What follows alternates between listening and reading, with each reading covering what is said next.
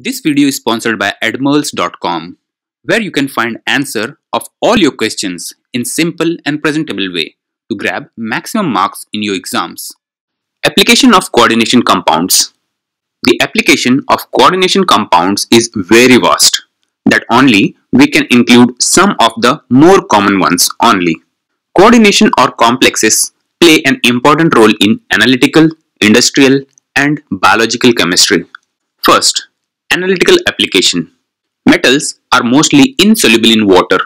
So, to keep them in solution, we use complexes.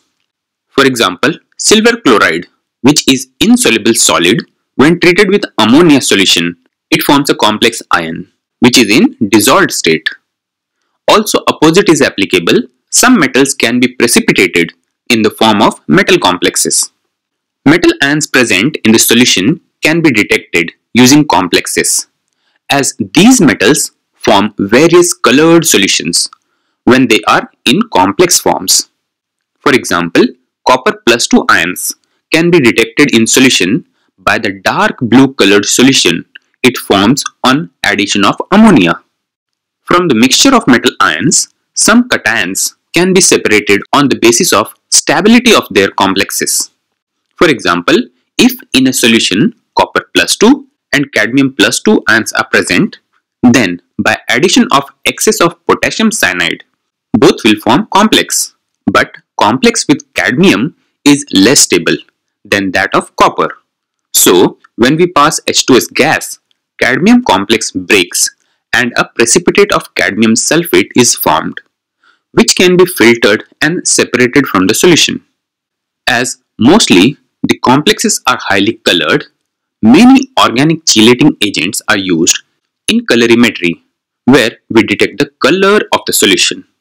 EDTA is a chelating agent and it is used for the estimation of many cations like magnesium, calcium and aluminium by volumetric titrations. The total hardness of water can be determined by titrating hard water with EDTA. As hardness in water is due to calcium and magnesium ions present in water, EDTA can form complexes with these ions and they can be easily estimated by titration. Second, industrial applications. Dissolved salts of iron in water causes many ill effects which can be prevented adding EDTA. EDTA is a strong chelating agent.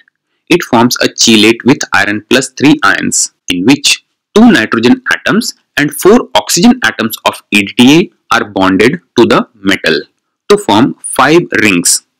Though iron plus 3 is present in water, it is strongly imprisoned by EDTA's chelating rings and hence it is harmless.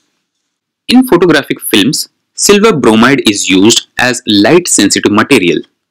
After development of photo, unreacted silver bromide is removed by forming silver thiosulfate complex ion. The noble metals like silver and gold are extracted from their ores through the formation of cyanide complexes like dicyanosilver and tetracyano gold respectively. Schweizer's reagent that is tetraamine copper hydroxide is used as a solvent for cellulose during the manufacture of artificial silk.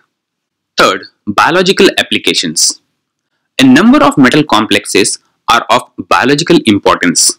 In particular, hemoglobin in the red blood cells contains iron porphyrin complex. Chlorophyll in green plants contain magnesium porphyrin complex and vitamin B12 is a cobalt complex.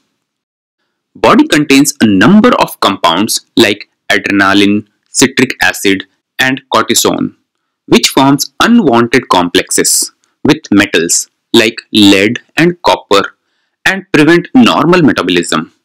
Lead poisoning and copper poisoning are treated by injecting EDTA so that metal EDTA complex is excreted in the urine.